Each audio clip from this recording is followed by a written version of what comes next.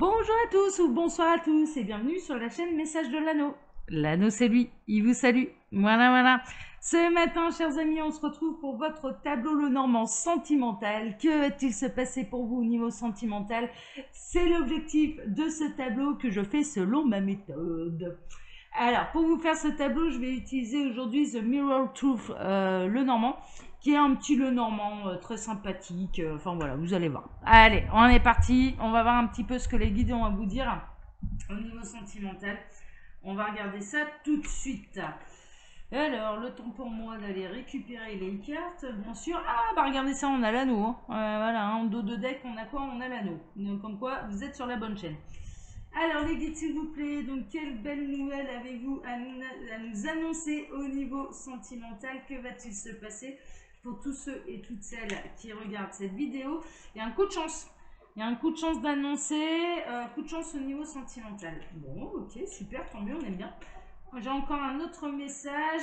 Euh, un coup de chance concernant les liens d'âme ou la famille. hein, d'accord Si vous êtes euh, en famille bien, bien ancrée, hein, d'accord La famille qui va bien, la famille saine, hein, ok un, un conjoint avec lequel tout va bien depuis de nombreuses années. Il y a un coup de chance pour que ça perdure, déjà.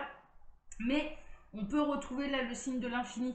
hein, d'accord? Et là, en l'occurrence, c'est coup de chance pour les liens d'âme. âme sœur, flamme jumelle, partenaire de vie. Bon, bah super. Ah, mais j'ai oublié d'enlever cette carte-là. Ah, bah, heureusement que je l'ai vue.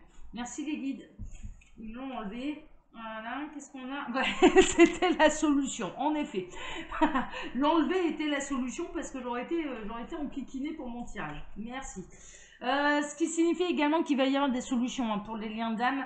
Euh, liens d'âme où clairement Ouais, c'est long, c'est difficile, hein, d'accord. Euh, Vous pouvez être célibataire d'ailleurs depuis, euh, depuis un moment et sur un parcours un petit peu qui, un petit peu laborieux. hein. Alors les guides, montrez-moi là ce qui va se passer au niveau sentimental pour tous ceux et toutes celles qui nous regardent. Allez, on c'est bon. À la coupe, qu'est-ce qu'on a? Ah, merveilleux. Bon, on a les étoiles et on a la fin de cycle. hein, d'accord. Donc là, en l'occurrence, il y a des fins qui vont être nécessaires, qui est voulu par l'univers qui est voulu par votre âme. hein. Ce qui est voulu par l'univers est voulu par votre âme. Hein. On va mettre euh, tout le monde d'accord. Et là, en l'occurrence, l'univers, les guides, les anges, Dieu, euh, vous appelez ça les archanges, les petits lutins, vous appelez ça comme vous voulez, euh, les guides, voilà, l'univers tout entier, eh bien, va vous aider à franchir ce cap, à franchir ce fin de cycle. hein, D'accord Donc, on est, est là-dedans. Bon, bah super. Mais fin de cycle qui est nécessaire. Euh, ça, ça bouge pas, d'accord. Euh, oui, non, c'est bon. Il y a un tac. Euh, il y a un coup de chance, il y a une discussion qui va être une véritable aubaine pour vous. C'est le message annexe que j'ai reçu. Il y a l'éloignement des secrets, hein. d'accord Il y a l'éloignement d'un secret également. Euh, donc l'ignorance en fait, l'éloignement de l'ignorance, donc l'arrivée de la connaissance.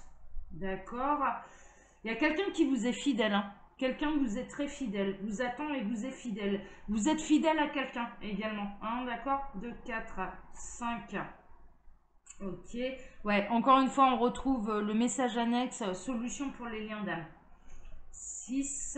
Là, j'ai pas eu de message annexe. 7 non plus. Bon, le coup de chance sur les liens d'âme dont les énergies tierces sont ancrées et implantées depuis longtemps. hein, d'accord? Là, vraiment, euh, il y a de l'énergie tierce qui perdure, d'où la difficulté du parcours, d'ailleurs.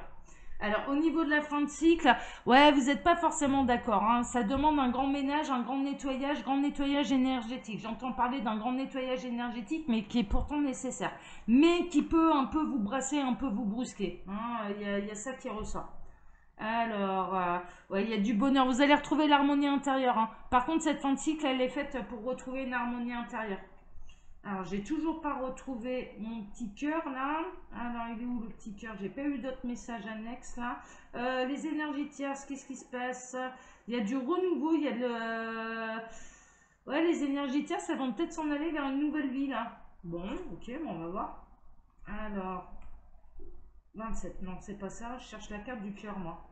Ah, bon, les féminines, vous êtes guidées par l'univers, hein, d'accord Euh, Ça, c'est plutôt la bonne nouvelle. Vous êtes très inspirées, vous avez beaucoup d'intuition, les féminines. C'est ce qui ressort. D'accord. 31, là, là, ok. Ouais, la fidélité, elle est bien ancrée, hein, quand même. hein. Euh, vraiment, il y a quelque chose qui vous rend euh, heureux dans la fidélité, la loyauté de quelqu'un. Alors, fidélité, loyauté dans le cœur. Alors, toujours pas la carte du cœur. Je ne la retrouve pas. Où est-elle? J'espère qu'elle ne va pas se poser, se poser en 24e position. Sinon, je ferai le tableau de la féminine et la retrouver. Non. Alors, au niveau du cœur, il y a encore des zones d'ombre, très honnêtement. Euh, on vous conseille de vous fier à votre intuition et attention aux fantasmes. Attention à l'ego. Hein, D'accord? Là, il y a quelque chose qui ressort à ce niveau-là. Donc voilà, le cœur doit suivre son intuition. Là. Laissez parler votre cœur, c'est un petit peu ça. Il y a quelque chose d'endormi également. Il y a quelque chose qui, doit, qui demande à être révélé au grand jour, mais qui est encore dans l'ombre. Bon, j'ai toujours pas retrouvé le cœur, mais néanmoins, maintenant, je vais pouvoir faire mon tableau. Non, ça, c'est la montagne. Ok. Non plus. Là, j'ai pas d'autres messages annexes. On a l'homme qui est dans sa propre maison. Euh, l'homme est dans sa propre maison, mesdames, ce qui signifie que euh, il est en train de travailler l'harmonie avec lui-même. Hein, D'accord Il est sur le bon chemin. Euh, en étant dans sa propre maison, il est sur le bon chemin. Ok. 34. Les féminines, vous allez avoir différentes possibilités. Hein, D'accord Il y a d'autres poissons dans la mare. Il y a des opportunités qui vont s'offrir à vous au niveau sentimental. L'anneau. Ah, le cœur. Bon, il va y avoir des solutions. D'accord? Euh, On va terminer le tableau avec quoi? Avec des solutions sentimentales. J'adore, super. ça, on aime bien. Ça, on aime bien. Alors, on est parti. Donc là, le cœur demande vraiment à s'exprimer dans ce tableau. Il y a des choses qui sont euh, encore cachées dans l'ombre. Euh, il y a des choses qui... Fiez-vous, laissez parler votre cœur. Il y a vraiment une notion là de devoir laisser parler le cœur et attention au niveau sentimental, à votre ego, attention aux illusions et voire même aux désillusions. Il y a ça qui ressort. Mais on va terminer très très bien parce qu'on va terminer avec des solutions. Alors, je poursuis le tableau. Euh, alors, attention aux illusions d'engagement, attention aux illusions par rapport aux liens d'âme. Moi, j'ai encore beaucoup trop, là, de, très honnêtement, des gens qui viennent me voir, qui sont persuadés d'être dans tel ou tel parcours, et pas du tout, quoi. Et pas du tout. Et bon, moi, mon rôle, hein, c'est de devoir les éclairer à ce niveau-là, euh, c'est-à-dire de mettre le vrai mot sur le vrai lien d'âme, s'il y en a un. D'ailleurs, euh, c'est hyper important parce que en étant persuadé, par exemple, de naître, d'être dans un parcours de flamme jumelle, etc., mais on peut, euh, on peut passer à côté d'opportunités, euh, surtout si on n'y est pas, quoi. Enfin, clairement. Euh, donc voilà. Donc il y a quand même, il y a quand même des choses à ce niveau-là. Donc attention quand même à ne pas vous focaliser.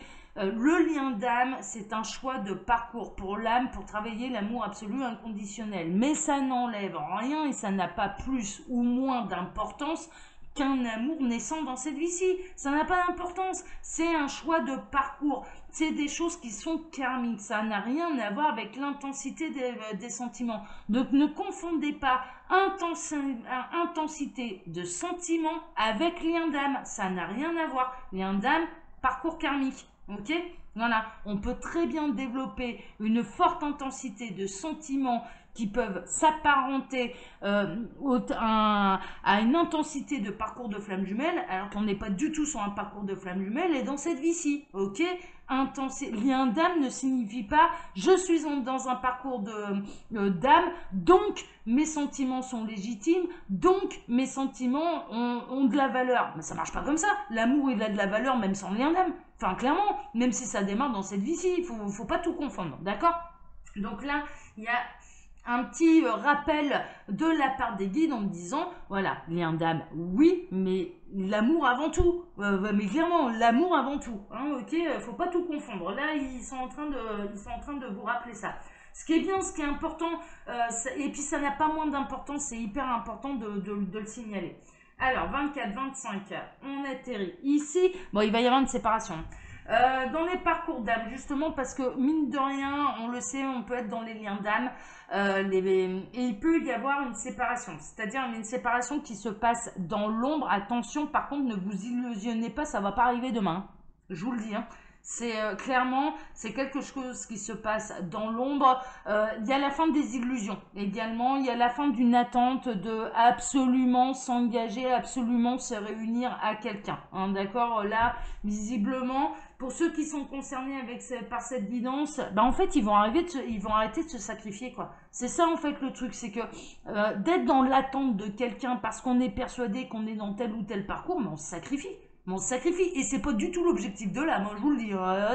voilà. Pourquoi? Ben Parce qu'on travaille l'amour absolu, inconditionnel, mais également de soi. Et donc, euh, on accueille le présent. Mais vraiment, et quel que soit le parcours, et combien même vous, soyez dans un, vous êtes dans un parcours de, de, de flamme jumelle, mais s'il y a d'autres personnes qui se présentent à votre porte, mais c'est qu'elles ont un rôle à jouer, c'est qu'elles ont du bonheur à vous apporter, c'est que vous avez quelque chose à échanger. Enfin, clairement, elles n'arrivent pas par hasard. Le hasard n'existe pas, ça aussi, il faut pas l'oublier. Parce que si on, adopte absolument toutes les lois universelles, bah ouais d'accord, mais on prend pas la moitié quoi, et on laisse de côté euh, euh, l'essentiel. bah non quoi, on, agit avec l'ensemble des lois universelles. Donc toute personne qui se présente à vous sur votre chemin, bah elle est importante. Elle est importante, donc on lui ferme pas la porte. Vous voyez ce que je veux dire? Enfin voilà, on est vraiment là-dedans. Donc là, en l'occurrence, mais mine de rien, il y a de la séparation également dans l'air, il y a la fin d'une attente. Pour moi, il y a la fin d'une attente, euh, la fin des illusions. Franchement, la fin d'une illusion là. 8, 10, on atterrit ici. Euh, oui, pour pouvoir renaître, pour aller vers une autre vie, pour aller vers une nouvelle vie. Donc c'est hyper important. Il y a une renaissance là au niveau sentimental parce qu'on lâche ses illusions, parce qu'on lâche son ego, parce qu'on lâche son idée de vouloir absolument se réunir à telle ou telle personne. Ça ne fonctionne pas comme ça. Et en plus, comme le temps n'existe pas, parcours d'âme sœur, parcours de flamme jumelle, mais si on n'est pas réunis dans cette vie-ci, on est réunis dans une autre. Hein. Alors on fait quoi? On porte la coiffe euh, pendant ce temps-là? On se, met dans un monastère, dans, une, dans un couvent? Mais carrément pas quoi mais enfin, euh, sauf par, euh, sauf par vocation, hein. ça je vous empêcherai pas, hein. mais carrément pas. Enfin, mais clairement, euh, parcours d'âme, il faut partir du principe que ça peut prendre plusieurs vies. Donc, du coup, on fait quoi? On l'attend toute sa vie Mais, mais absolument pas quand on, accueille ce qui se présente. Et donc, il peut y avoir d'autres opportunités. Et s'il y a d'autres opportunités, ça signifie euh, que l'autre ou vous-même vous-même n'êtes pas encore prêt à, être réuni à cette personne. C'est ça en fait le truc. Donc faut pas passer à côté de sa vie parce qu'on est dans un parcours euh, dans un parcours d'âme. Donc ils insistent un petit peu là-dessus. Là il y a une renaissance, on lâche ses, désillusions, c'est son ego, c'est parfait. Hein. Il, y a un, y a un gros lâcher sur l'ego là, c'est très bien. Alors 16, 17, Félicitations mes petits lapins, c'est parfait. Ça a été difficile, hein. ça a été difficile de lâcher ça parce que euh, pour moi, on est face à des gens qui sont seuls depuis un moment et dont le célibat pèse. La bonne nouvelle, c'est que là, il y a la fin du célibat. Hein. Fin du célibat, il y a une renaissance, il y a quelqu'un qui arrive pour vous. Là. 16, 15, on atterrit ici. Euh, ouais, ça va commencer par des écrits d'ailleurs où il y a un destin qui est écrit de toute façon. Donc cette personne qui arrive dans votre vie, quand même même c'est pas une âme sœur, c'est pas une flamme jumelle, ça n'a pas d'importance. Elle, vous est destinée. Il y a quelque chose d'écrit. La rencontre, elle été destinée. Il n'y a pas de hasard. Hein, c'est pareil. Hein. Voilà. Hein. Euh, ça, on, euh, faut pas se pleurer. Alors, 24, 26, 27, on atterrit ici. Euh, ouais, ça vous grignote en fait. Vraiment, ça vous bouffe. Mais je dirais presque là, le parcours d'âme, il vous a bouffé. Et c'est pas l'objectif. L'objectif, c'est se transcender. L'objectif, c'est de travailler l'amour absolu, inconditionnel. De l'autre, ouais, bien sûr, il y a un lien d'âme. Ouais, jusque-là, pas de problème. Mais ça, tout le monde, ça, c'est la partie facile du truc. Mais également de soi-même. Et donc, de pas se sacrifier. Et de pas se bouffer la rate, hein, clairement. Hein. Hein, d'accord On est là-dedans. Le petit lapin, là, vous n'allez pas vous bouffer la rate, hein Non, mais vous allez vous en aller vers une nouvelle vie, hein, clairement. Là, c'est limpide. Vous vous en allez vers une nouvelle vie, vous décidez de changer votre fusil d'épaule, vous décidez euh, de vous ouvrir à d'autres possibilités. Et tant mieux, c'est très bien. 16, 15, 14, 13, on atterrit ici. Euh, bon, il y a, la peau du serpent qui va se renouveler, c'est un petit peu ça, l'énergie tierce là en l'occurrence. Alors il peut y avoir un changement dans les énergies tierces pour les parcours d'âme. Euh, alors jusque-là, il pouvait être engagé avec euh, Pierre, Paul ou Jacques, hein, ou Jacqueline, voilà, ça n'a pas d'importance. Et là, il peut y avoir une autre énergie tierce qui arrive dans la vie de, de, la personne en face. Raison pour laquelle vous bah, a encore une autre énergie tierce, ça, signifie que votre autre, il n'a pas compris telle ou telle chose, qu'il doit se dépatouiller avec, qu'il a des choses à comprendre et à apprendre avec cette personne. Ça il n'y a pas de hasard, même pour lui, c'est pareil. Enfin, clairement, même pour lui, même pour elle. Hein, et là, en l'occurrence, donc, ça peut être une addiction. En tout cas, il y a une nouvelle énergie tierce qui arrive euh, et qui est nécessaire qui est nécessaire. Les énergies tierces, elles sont nécessaires, hein. attention, hein, euh, c'est... faut pas tout y voir en noir. Hein. Alors 8, 7, on atterrit ici. Bon, et une nouvelle énergie tierce qui est là pour durer un petit moment et qui va se greffer à celle qui était là et qui était présente depuis longtemps. Mais elles sont nécessaires pour décaper un petit peu tout ça et mettre du neuf. Euh, voilà, de toute façon, il n'y a pas de hasard. 35, on atterrit ici. Nouvelle énergie tierce également qui vient se greffer au lien d'âme. Hein. Euh, ouais, nouvelle énergie tierce qui vient se greffer au lien d'âme. Donc, ce qui signifie là, dans cette situation, que la réunion, elle n'est pas pour demain. Hein, euh, soyons très très clairs. Mais mine de rien, ce qui se passe, c'est qu'il y a une ouverture quand même. Euh, une ouverture des possibilités. Vous allez vous ouvrir à de nouvelles possibilités. Vous allez vous ouvrir au monde. Il peut y avoir des discussions par Internet également. À accepter les invitations. Ça fait partie également du cheminement de la vie et d'accueillir le présent. Donc accepter les invitations là. Accepter les invitations. Alors, 24, 23, 22, 21, 20, on atterrit ici. Euh, vous êtes à une fin de cycle. Hein. Vous êtes à une fin de cycle. Cette fin de cycle, elle est importante. Cette fin de cycle va vous permettre d'aller vers la, meilleure version de vous-même, hein, d'accord? À l'étape supérieure et de, voir les choses de manière beaucoup plus large.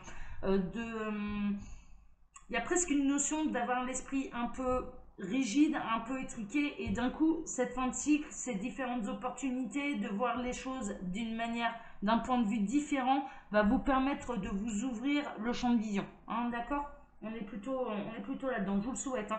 Ça vous met en conflit avec vous-même. Mais vraiment, vous êtes en conflit avec vous-même parce que vous, vous avez envie d'être absolument fidèle à telle ou telle personne qui est toujours pas arrivée dans votre vie. Hein. Qui est toujours pas revenue ou réunie à vous. D'accord? Donc là, en l'occurrence, vous allez apprendre que le sacrifice ne sert absolument à rien, mis à part euh, vous faire de la peine qu'à vous-même. Votre autre, âme sœur, flamme jumelle, il vous demandera jamais de vous sacrifier. On n'est pas là-dedans, hein. on n'est pas là-dedans. Sinon, on n'est pas dans un lien d'âme, hein, euh, clairement, hein, euh, d'accord Donc, ne vous sacrifiez pas, ne vous sacrifiez pas, ne soyez pas dans l'attente. En plus, l'attente, l'univers va vous envoyer de l'attente. C'est comme ça que ça fonctionne. C'est vraiment... Si vous, remplissez votre vie, euh, l'univers va continuer de vous la remplir également. Vous demandez de l'amour, il va vous en envoyer sous des formes complètement... Euh, moi, ça m'arrive, hein. je, vais, être très honnête avec vous, hein. quand j'ai besoin d'amour, euh, quand j'en ressens le... Ouais, vraiment, je me dis, ah merde, je, je, bien un, un, bon câlin, là. Eh ben, je leur demande, hein. mais, mais ça se fait mais ça se fait. Et je vais avoir, c'est pas forcément le câlin de 3 étoiles, mais j'en ai pas forcément besoin d'ailleurs. Euh, moi j'ai une libido bizarre, moi, euh, voilà. Mais euh, on va m'envoyer de l'amour, on va m'envoyer quelqu'un pour me faire un câlin. C'est, mais c'est, franchement, c'est pas un problème. Donc voilà, ils remplissent. Hein. Mais si vous envoyez de l'attente à l'univers, il va vous renvoyer de l'attente. Le pouvoir de la pensée, hein, ça c'est pareil, hein, ça fait partie des lois universelles. Hein. ok? 8, 10, 11, on atterrit donc ici. Ouais, bah, ce qui vous bouffe, c'est la relation triangulaire, qu'elle soit consommée ou non, d'ailleurs. Et vous êtes en conflit avec ça parce que là, euh, bah, ça vous bouffe. Hein. ça vous bouffe de ne pas être la priorité de cette personne, ce qui se comprend parfaitement. Euh, donc 16, 15, 14, on atterrit ici. Mais il y a quand même du bonheur. Le bonheur de voir les choses sous un angle différent, le bonheur d'apprendre euh, les événements d'une manière différente. Hein, D'accord? Donc il y a des petits bonheurs qui arrivent pour vous il peut y avoir euh, l'arrivée de quelqu'un qui va vous apporter... Vous allez retrouver l'harmonie intérieure. C'est l'objectif en défense cycle. Hein. Retrouver l'harmonie intérieure. Ok? Donc ça, c'est plutôt, c'est plutôt la bonne nouvelle. Alors, vous allez de nouveau, je dirais, être en accord avec vous-même et fidèle à vous-même. C'est hyper important, hein, d'accord? Donc, fidélité à vous-même, à votre harmonie intérieure, à votre vérité et à votre bonheur. Hein, d'accord? C'est ça qui est important. Le bonheur de Pierre-Paul Jacques n'est pas forcément votre vision du bonheur. Ça, ça appartient à chacun. Ça s'appelle sa vérité, sa vérité profonde et intérieure. Alors, 16, 17, 18, on atterrit ici. Euh, ouais, bah ça va vous rendre lumineux, fin de cycle. Après, on s'en va vers la lumière, on s'en va vers le bonheur, avec, vers la joie, vers la complétude, vers l'accomplissement, vers, euh, vers une ouverture du monde. Vous allez rayonner, vous allez dégager euh, d'autant plus une énergie, je dirais, magnétique et un aura. Hein, D'accord Une aura, pardon, un aura, une aura. Alors, 31, on atterrit là. Le voyage est encore long. Hein. Là, pour les parcours d'âme, très honnêtement, le voyage est encore long. On n'est pas du tout euh, dans la situation des gens qui sont concernés par des réunions qui sont très proches. Non, il y a du voyage encore à faire. Pour lui comme pour vous. Ou pour elle comme pour vous. Hein. Mais je n'exclus pas ces messieurs. Là, le voyage, il est encore long. Hein. C'est pas pour demain, la réunion. Il y il y a des choses à travailler d'abord des choses qui vous seront révélées au fur et à mesure. Il y a des choses encore qui sont secrètes, qui demeureront secrètes, mais euh, bah, ça fait partie, quand on choisit ce genre de parcours, de toute façon, c'est pour aller vers, euh, des révélations, hein, d'accord? Et vers euh, comprendre comment fonctionne l'univers, en fait, les lois universelles. En fait, c'est très simple, hein. mais honnêtement, c'est d'une logique mais au plus vous allez avancer, au plus vous allez vous dire, mais oui, mais bien sûr, un enfant de 4 ans, il peut le comprendre, en fait, le fonctionnement de l'univers, tellement c'est logique. C'est d'une logique, mais implacable. Mais je vous laisse découvrir, je vais pas tout vous dire. Chacun au parcours. Puis ma vérité ne sera pas forcément la vôtre en plus. Alors, 24, 25, 26, on atterrit ici. Euh, c'est difficile pour vous, vous auriez envie de tout savoir. franchement, à vous détester les secrets. Hein. Dans ce tableau, vous détestez les secrets, c'est extrêmement difficile pour vous, mais mine de rien, ça reste nécessaire, ça fait partie du parcours. Moi non plus, je sais pas tout, j'en apprends encore euh, tous les jours. Hein. Alors, 24, et ça m'énerve aussi. Donc, vous voyez, je vous rejoins, je rejoins complètement, j'avoue, j'avoue ma faiblesse, ça m'énerve aussi. Mais mine de rien, eh bien, je dois continuer à apprendre, c'est comme ça, ça fait partie du jeu. Alors, 24, 23, 22, 21, on atterrit là. Ouais, c'est l'élévation spirituelle, ça fait partie. Ils sont en train de se marrer, là, je, vous le dis. Ils sont en train de se marrer, surtout les maîtres ascensionnés d'ailleurs. Euh, ça fait partie, euh, ça fait partie du parcours de l'élévation spirituelle. À trop savoir les choses, d'un coup, on peut faire des sacrées conneries. Euh, on apprend les révélations et le fonctionnement des lois universelles au moment où on est prêt à l'appliquer quotidiennement sur Terre. Voilà, c'est tout là. C'est voilà, c'est à ce moment-là qu'elles arrivent les révélations. Euh, parce qu'on pourrait faire du dégât. Si on utilise mal ce qu'on apprend, on peut faire, sérieusement faire du dégât. Et faire du dégât, c'est faire du dégât euh, avant tout à soi-même, hein, je vous le dis. Hein. Donc, euh, donc ils essayent, ils s'arrangent pour nous donner les informations au moment où on est prêt, de les, prêt à recevoir. Il, me demande de vous rappeler une loi universelle qui est fondamentale. L'univers ne blâme pas l'ignorance. C'est-à-dire que quand vous faites une bêtise, sur Terre un comportement un petit peu néfaste, mais parce que vous en ignorez un petit peu les conséquences, l'univers ne vous en blâmera pas. C'est-à-dire, vous ne saviez pas, vous ne connaissiez pas cette loi universelle, donc l'univers ne blâme pas l'ignorance. Par contre, à partir du moment où sait les choses, c'est là où on s'alourdit. Le karma. Vous comprenez ce que je veux dire? C'est-à-dire que si vous faites... Vous savez que la, pensée qui est mauvaise euh, peut atteindre son objectif et réellement faire du mal. Bah, si vous envoyez des mauvaises pensées à quelqu'un en particulier pour se venger, eh bien en l'occurrence, vous êtes au courant que ça fait du mal. Vous, connaissez cette loi universelle-là. Elle est imprimée en vous. Vous en avez eu la révélation. Eh bien donc, vous alourdissez votre karma. Là, là, là vous savez les choses. Donc là, c'est là où entre en, en compte et en question euh, la justice universelle, c'est quand on sait les choses. Vous voyez ce que je veux dire? Voilà. Donc c'est pour ça qu'on ne sait pas tout tout de suite, parce que sinon on ferait des bêtises. on, sait les choses quand on est prêt euh, pour les découvrir. Ce qui demande du coup une élévation spirituelle. C'est normal, c'est logique, c'est une logique implacable. C'est comme un enfant de 6 ans. Un enfant de 6 ans, quand on lui apprend à lire, on va pas lui aller lui demander euh, de résoudre une équation à, double, à deux inconnus, par exemple. Vous voyez? Il apprend les maths, il, il apprend 2 plus 2 égale 4. On ne va pas, à l'âge de 6 ans, aller lui fournir un programme euh, d'un élève de seconde. Ouais, eh ben c'est pareil. Voilà, c'est imagé, mais c'est pareil. Ok? Alors, 16, 18, 19, on atterrit ici. Euh, oui, ça vous angoisse, ça vous perturbe, ça vous énerve, ça, c'est chiant, mais ça fait partie du parcours de tout à chacun, c'est normal. 8, 7, 6, non mais ça me fait rire parce que je me retrouve complètement là-dedans. Alors ça demande, vous allez, il y a peut-être un choix un petit peu cornélien. Euh, il ne faut pas oublier qu'on est dans le parcours d'âme là, et en l'occurrence vous avez l'impression de trahir votre hôte si vous ne l'attendez plus. Non, en réalité, euh, de ne plus, de continuer de l'attendre, c'est vous que, vous trahissez. Hein. Euh, donc voilà, il y a un choix à faire pour soi là, pour soi, pas pour l'autre, pour soi. 24, 23, 22, on atterrit ici. Euh, ouais, il faut être juste et impartial vis-à-vis de soi, hein. d'accord hein, Vraiment, hein. c'est-à-dire qu'il y a une certaine rigueur, vous vous imposez une grande rigueur également là dans ce, tableau. Une rigueur qui vous pousse au sacrifice. Attention, la rigueur poussée à l'extrême, c'est du sacrifice, d'accord Donc euh, c'est pareil, il faut connaître les limites, ses propres limites, et, euh, et je dirais pas aller trop loin non plus. 32, 31, 30, on atterrit ici, vous allez voir tout le tableau, mais peut-être grâce à cette vidéo, je le souhaite, un coup de chance, vous allez savoir faire la différence entre rigueur, impartialité, droiture et sacrifice. C'est plutôt intéressant. Euh, ouais, parce qu'il y a de la communication, il y a de la communication qui vient d'en haut, les guides vont vous parler, peut-être à travers moi, peut-être à travers cette vidéo, je le souhaite. Je le souhaite de tout cœur parce que Vraiment, c'est pour votre bonheur. Hein. C'est pas, c'est pas pour vous enquiquiner. Ceux qui nous ont abandonnés, là, clairement, ils n'étaient pas prêts à recevoir un message. Ceux qui continuent à écouter cette, cette guidance, eh bien, ça leur apporte des choses et j'en suis ravie. Mais il peut y avoir une discussion euh, qui va porter chance, qui va porter ses fruits d'une énergie tierce, hein, d'accord, de quelqu'un qui, euh, voilà, euh, et qui en l'occurrence aura toute son importance dans votre vie. Alors, ouais, par rapport au chemin spirituel, hein, vraiment, hein, par rapport à ce chemin de croix, hein, euh, porter sa croix, on est vraiment, euh, on est vraiment là-dedans. Ok. Euh, oui, bah c'est vraiment ça, chemin spirituel. Là, on a les étoiles qui ressortent, l'univers, donc c'est vraiment par rapport à votre cheminement spirituel et aux valeurs spirituelles et aux lois universelles. c'est tout, là, c'est limpide.